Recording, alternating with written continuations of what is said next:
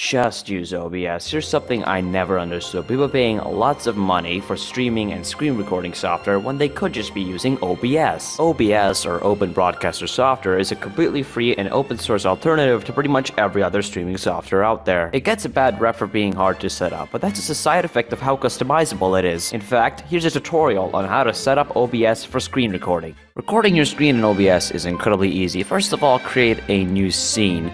In that scene, add a new feature. We're going to add a um, display capture.